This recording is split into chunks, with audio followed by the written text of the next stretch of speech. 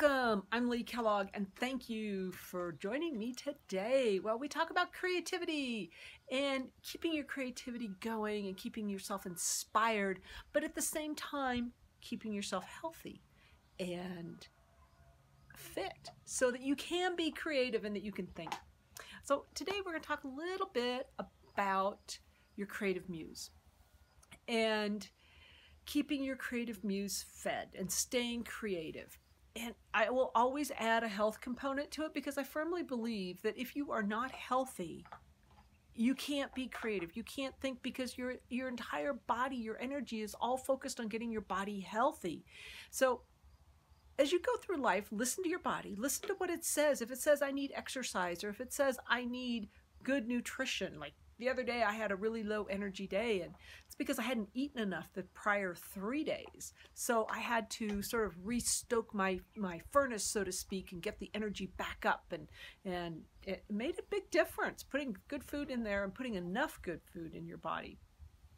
So your creative muse is that's what a lot of people like to talk about. It's like, oh, the muse left me, so I can't write today, or I can't do art because I have no no inspiration, no muse. And how do you keep your creative muse fed? So one, as I've talked about, is eating right. Definitely eating right, always.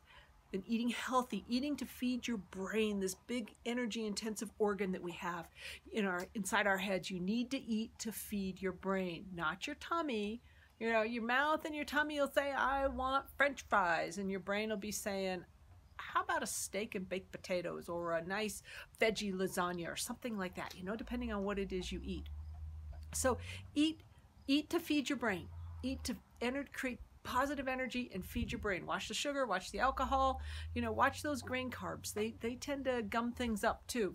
So food, exercise. You have to have some exercise. You got to get some physical exercise. Do what you can within the within your ability. And if you can push yourself a little bit a little bit just like walk an extra thousand steps a day or swim that extra lap or bicycle an extra mile. Do something extra every day. And then sleep. Sleep is so important to being creative to be able to think and being on your a game and thinking right.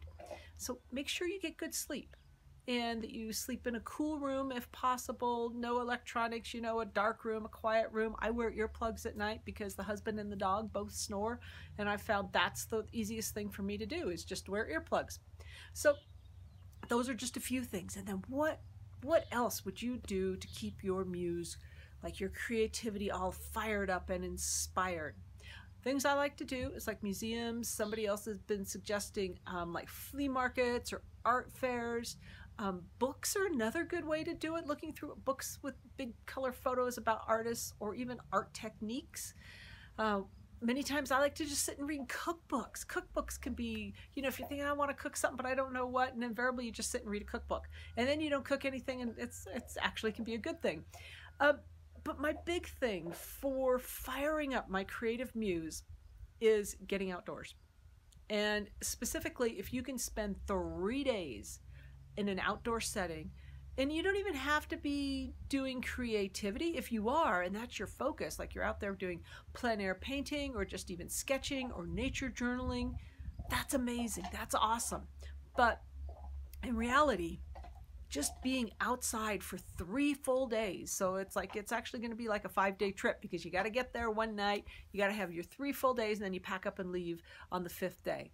Like a river trip is something amazing. A camping trip, a backpacking trip, you know, whatever you can do that fits your financial parameters and your ability, your physical ability is amazing.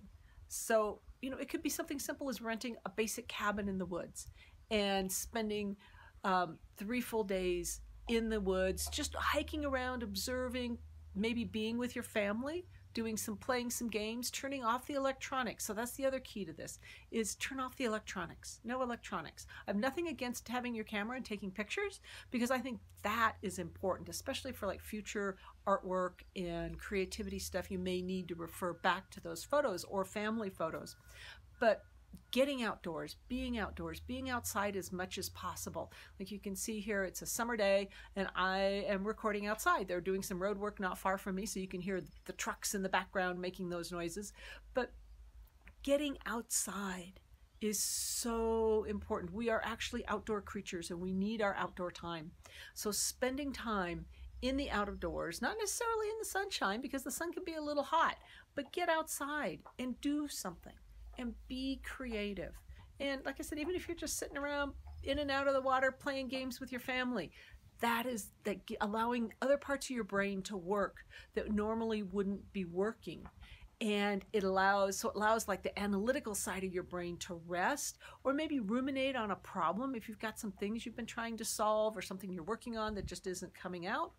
That's a really good time to allow it to um, ruminate and ferment in the background and bubble away. And, and you'll be surprised how fast you'll come up with an answer after those three days. So there are lots of scientific studies out now proving this three day effect of increased creativity, increased problem solving ability, and lower heart rates, greater heart rate variability. And your heart rate variability is the space in between the beats of your heart and how much your heart varies in its rhythm. And it's really good for your heart to vary in its rhythm in a certain way, such that it beats and it rests for a microsecond and then it beats again. So, so that you're you're actually your heart when it's irregular like that, it is resting, but it is working at the same time. And heart rate variability can be a whole an indicator for a whole host of things. How relaxed you are, how stressed you are, did you eat food you shouldn't have eaten? Um, because that'll alter your heart rate variability. Uh, mental problems It's just, it's a whole fascinating area. And I'll do a video on that at some point in the future. But today, just know that, that being outdoors is super, super good for you. And I urge you to feed your creative muse, even if you think you're not creative, get out there, feed your soul, spend a couple of days outside, do a camping trip, do a river trip. If you can do a river trip, being on the river is one of the most amazing things ever. And relax, enjoy, and feed that muse. And I will see you next week, or yeah, next week. And subscribe, please. Use um, click the little bell in YouTube to get notifications. If you want to subscribe to my newsletter, where I frequently indulge other creative tidbits, you can find it on leekellogg.com. Bye.